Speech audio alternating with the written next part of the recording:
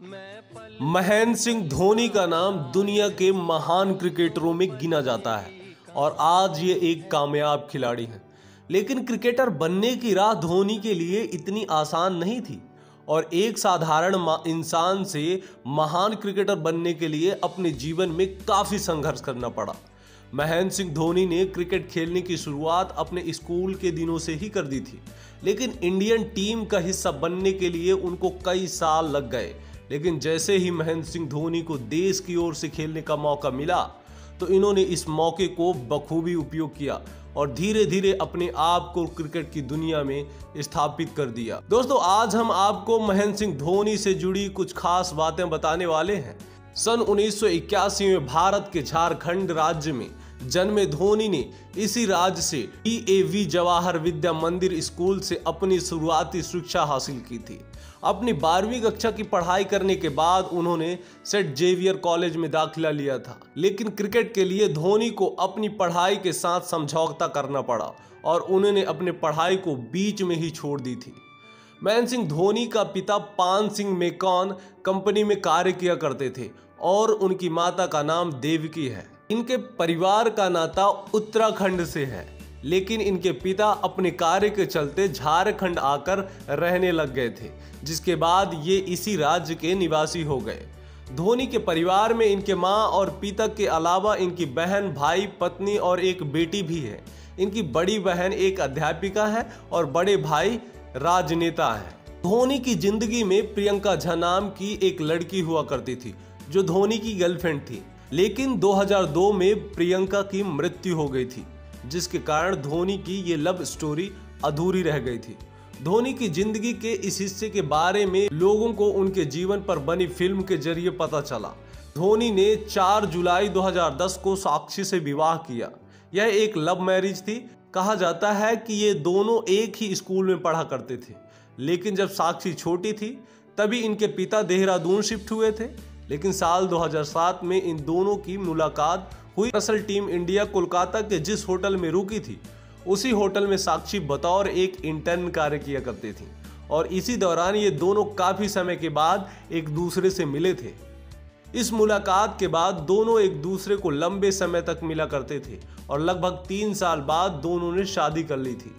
इन दोनों की एक बेटी भी है और उसका नाम इन्होंने जीवा रखा है। बात करते हैं महेंद्र सिंह धोनी के क्रिकेट से जुड़ी कुछ करियर की। इन्हें साल 1999 में पहली बार रणजी ट्रॉफी खेलने का मौका मिला था।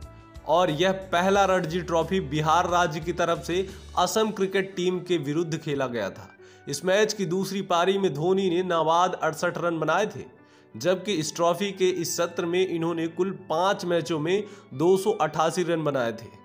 धोनी के बेहतरीन प्रदर्शन के बावजूद भी इनका चयन ईस्ट जॉन सेलेक्टर द्वारा नहीं किया गया था, जिसके कारण धोनी ने खेल से दूरी बना ली।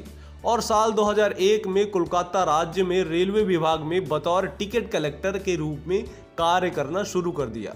लेकिन धोनी का मन इस नौकरी में नहीं लगा और इन्होंने तीन साल के अंदर ही इस नौकरी को छोड़ दिया और फिर अपने क्रिकेट करियर पर ध्यान देना शुरू कर दिया। साल 2001 में धोनी का चयन दिलीप ट्रॉफी के लिए हो गया। धोनी ने साल 2003-4 के देवधर ट्रॉफी के टूर्नामेंट में भी हिस्सा लिया था और धोनी पूर्वी जोन टीम का हिस्सा थे। देवधर ट्रॉफी का ये सीज़न इनकी टीम द्वारा जीता गया था और धोनी ने इस सीज़न में कुल चार मैच खेले थे, जिनमें उन्होंने 244 रन बनाए थे। धोनी को भारतीय टीम की ओर से पहला अंतर्राष्ट्रीय वनडे मैच खेलने का मौका सन 2004 में मिला था और इन्होंने अपना पहला ओडीआई मैच बांग्लादेश के विरुद्ध खेला था। अपने पहले अंतर्राष्ट्रीय मैच में वे कुछ खास नहीं कर सके और शून्य पर लौट गए। हालाँकि धोनी के खराब प्रदर्शन के बावजूद भी इनका चयन पाकिस्तान के साथ खेले जाने वाले अगले ओडीआई मैच में कर लिया गया था। पाकिस्तान के साथ खेले गए मैच में धोनी ने काफ़ी अच्छा प्रदर्शन किया था। इस मैच में उन्होंने कुल 148 रन अपने नाम किए थे, जिसके साथ ही ये पहले ऐसे भारतीय विकेटकीपर बल्लेबाज भी बन गए थे, जिन्होंने इतने रन बनाए थे। धोनी को भारतीय क्रिकेट टीम की ओर से फ़र्स्ट टेस्ट मैच खेलने का अवसर साल 2005 में मिला था। और इन्होंने अपना प्रथम मैच श्रीलंका के विरुद्ध खेला था। इस मैच की पहली इनिंग में धोनी ने कुल 30 रन अपने नाम किए थे, मगर बारिश के चलते ये मैच बीच में ही बंद करना पड़ा था। ये कप्तान बनने से पहले भारतीय टीम की ज़िम्मेदारी राहुल द्रविड़ के पास थी, और जब राहुल द्रविड़ ने अपने इस पद को छोड़ दिया था तो उनकी जगह भारत का अगला कप्तान धोनी को चुना गया। कहा जाता है कि धोनी को भारतीय टीम की कप्तानी देने की बात राहुल द्रविड़ और सचिन ने बीसीसीआई से की थी, जिसके बाद बीसीसीआई ने धोनी को सन 2007 में भारतीय टीम का कैप्टन बनाया था। भारत के कप्तान बनने के बाद सितंबर 2007 में दक्षिण अफ्रीका में आयोजित हुए आईसीसी विश्व कप टी में इन्होंने भारतीय टीम को लीड किया था और इस टूर्नामेंट को जीत लिया था। विश्व टी कप जीतने के बाद धोनी को वनडे मैच और टेस्ट मैच की भी कप्तानी सौंप दी गई। धोनी की कप्तानी के तहत ही भारत साल 2009 में आईसीसी टेस्ट रैंकिंग में प्रथम स्थान हासिल कर पाया था और धोनी ने कप्तान रहते हुए कई सारे रिकॉर्ड भी अपने नाम किए थे। धोनी ने दो विश्व कप में भारत का नेतृत्व किया और अपनी कप्तानी के तहत भारत साल 2011 में विश्व कप जीता था। जबकि साल 2015 के हुए विश्व कप में भारत को सेमीफाइनल तक पहुँचाने में कामयाबी हुई थी। आईपीएल के पहले सीज़न में धोनी को चेन्नई सुपर किंग्स ने पाँच मिलियन अमेरिकी डॉलर, यानी 10 करोड़ में खरीदा था और यह कीमत सबसे अधिक थी। धोनी पहले ऐसे विकेट कीपर हैं जिन्होंने टेस्ट मैचों में कुल चार हज़ार रन बनाए हैं। इससे पहले किसी भारतीय विकेट कीपर ने इतने रन नहीं बनाए थे।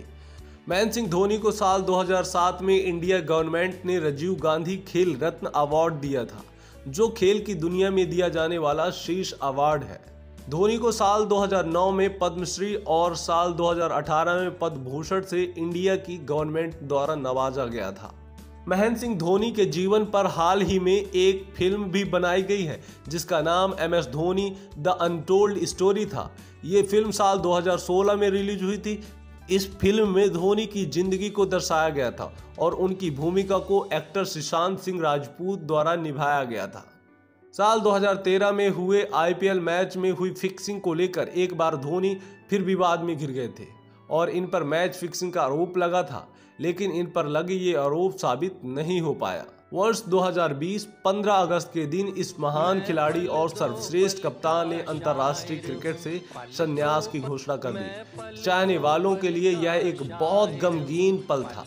यह एक ऐसे खिलाड़ी थे जिसे देखने के लिए दुनिया भर के लोग क्रिकेट देखा करते थे। महेंद्र सिंह धोनी के पास कुल संपत्ति करीब 700 करोड़ रुपए से अधिक है और इन्होंने ये पैसे क्रिकेट विज्ञापन और कई तरह के व्यापार करके कमाए हैं। धोनी की वार्षिक आय लगभग 150 करोड़ से भी अधिक है। धोनी का जीवन हमारे देश के युवाओं के लिए काफ़ी प्रेरणाजनक है और आज भी इनके फैंस की संख्या में कोई भी कमी नहीं आई है। आज भी जब भी धोनी मैदान में खेलने के लिए उतरते हैं तो हर किसी को केवल इनकी बैटिंग का इंतज़ार रहता है, चाहे आईपीएल के मैच हो या फिर अंतर्राष्ट्रीय मैच। अब बात करते हैं महेंद्र सिंह धोनी की बाइक्स और कार कलेक्शन की। महेंद्र सिंह धोनी ने अंतरराष्ट्रीय क्रिकेट में एंट्री लेने से पहले अपनी यामाहा आर एक्स खरीदी थी। आज धोनी के पास Harley Davidson, fat boy, Ducati दस सौ अट्ठानवे हाया जैसे बाइक्स हैं। धोनी के पास कई बड़ी बड़ी लग्जरियाँ कार भी हैं। हमर एच टू की सवारी करते हुए धोनी को कई बार देखा गया है, जिसकी कीमत लगभग बहत्तर लाख से अधिक है। फरारी पाँच सौ निन्यानवे जी भी धोनी के कारों के ज़बरदस्त कलेक्शन में से एक है। इसकी कीमत लगभग एक दशमलव थ्री नाइन करोड़ रुपया है, जिसमें पावरफुल भी ट्वेल्व इंजन है। दोस्तों, हम आपको महेंद्र सिंह धोनी से जुड़े और भी जानकारियाँ दूसरे वीडियो में देते रहेंगे। आपको यह वीडियो कैसा लगा, महेंद्र सिंह धोनी के बारे में जानकर हमें कमेंट करके ज़रूर बताइएगा। और यदि हमारी मेहनत आपको अच्छा लगा हो धोनी से जुड़ी ये फैक्ट आपको अच्छे लगे हों तो हमारे चैनल को सब्सक्राइब कर लीजिएगा, क्योंकि हम आपको क्रिकेट से जुड़ी और क्रिकेटरों से जुड़ी हर खबर, बायोग्राफी, उनके पर्सनल लाइफ, सभी के बारे में आपको बताते रहेंगे। आपको वीडियो देखने के लिए बहुत बहुत धन्यवाद। जय हिंद, जय भारत। मैं पल दो पल का शायर हूँ, पल दो पल मेरी कहानी।